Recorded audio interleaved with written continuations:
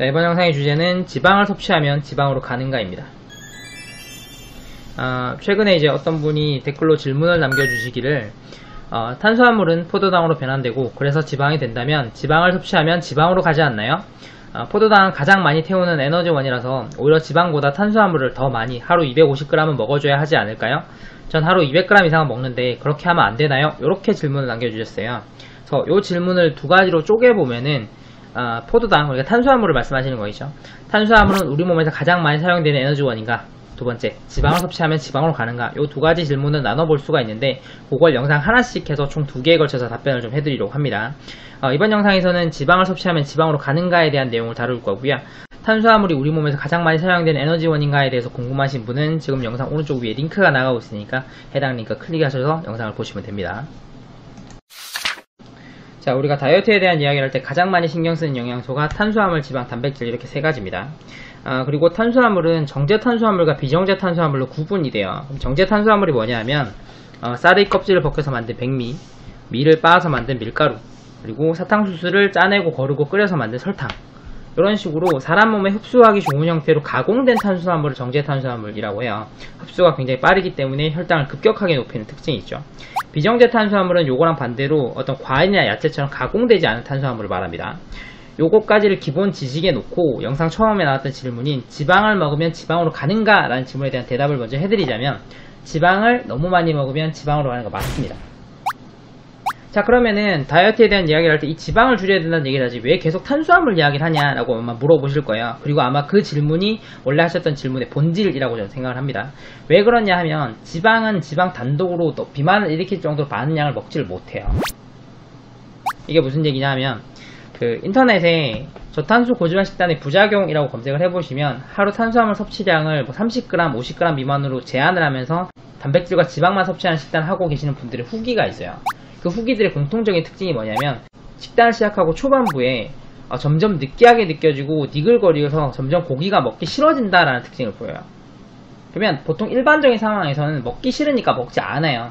그런데 블로그에 글을 써야 된다든지 뭐 테스트를 하고 있다든지 아니면 기사를 써야 된다는 이유 때문에 먹기 싫지만 참고 계속해서 먹으시다가 몸에 어떤 부작용이 발생하게 되는 거죠. 그리고 이건 지방의 특징인 게 아니라 탄수화물과 단백질도 마찬가지의 특징을 가집니다. 어, 이런 비정제 탄수화물 같은 경우에는 탄수화물이 포함되어 있긴 하지만 함량 자체가 낮기 때문에 몸에 이상이 올 정도의 탄수화물을 먹기가 굉장히 어려워요. 매일매일 어마어마하게 많은 양을 드셔야 되는데 당연히 그만큼씩 계속해서 먹다 보면 배불러서 먹기가 힘듭니다. 이런 비정제 탄수화물로는 탄수화물 과잉으로 인한 문제가 잘 생기지 않아요. 그리고 단백질 같은 경우에도 단백질 많이 먹으면 물리잖아요. 뭐 이제 운동 굉장히 열심히 하시는 분들 모인 커뮤니티 사이트 같은 데 가보면 닭가슴살 너무 많이 먹어서 물린다는 글 진짜 많거든요. 그래서 이런 탄수화물이든 지방이든 단백질이든 일반적인 상황에서는 너무 많은 양을 먹으면 더 이상 먹기 싫어지는 형태로 섭취량을 줄이려고 하는 균형을 맞추는 게 몸의 기본적인 메커니즘이에요. 그런데 이 균형을 깨뜨리는 게 정제 탄수화물이라는 거죠.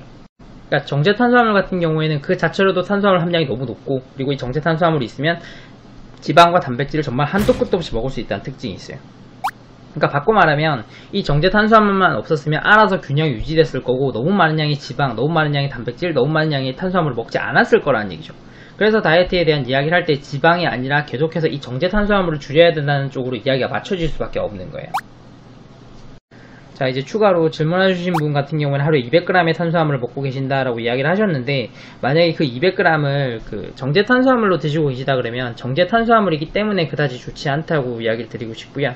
만약에 비정제 탄수화물로 드시고 계시다고 한다면 아마 상당히 많은 양의 과일이랑 야채를 드시고 계실 겁니다. 그리고 이렇게 되는 경우에는 식이섬유 과잉 문제가 있어요 그러니까 보통 이제 식이섬유라고 하면은 몸 안에서 콜레스테롤을 빨아들여서 이제 몸 밖으로 배출시키고 그리고 장내 유익균의 먹이가 돼서 장내 건강을 개선시키는 굉장히 좋은 거라고 얘기 알고 있는데 이것도 이제 적정량일 경우를 이야기를 하는 거지 너무 많은 양의 식이섬유 같은 경우에는 소화가 안 되기 때문에 장에 굉장히 큰 부담을 주게 되고요. 그리고 식이섬유가 콜레스테롤만 빨아들이는 게 아니라 뭐 아연이라든지 뭐 철분이라든지 이런 다른 영양소를 또 함께 빨아들이는 특징이 있어요. 그래서 식이섬유를 계속해서 너무 많은 양을 먹게 되면 그런 영양소가 계속해서 빨려 나가기 때문에 오히려 영양 불균형이 올 수도 있는 거거든요.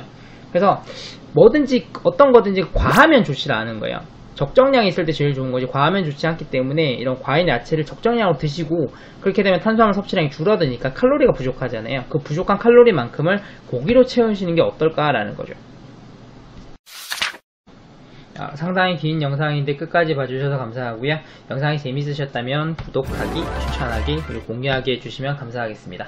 아, 구독하기는 영상 오른쪽 아래에 있는 워터마크 클릭하시면 구독이 되시고요.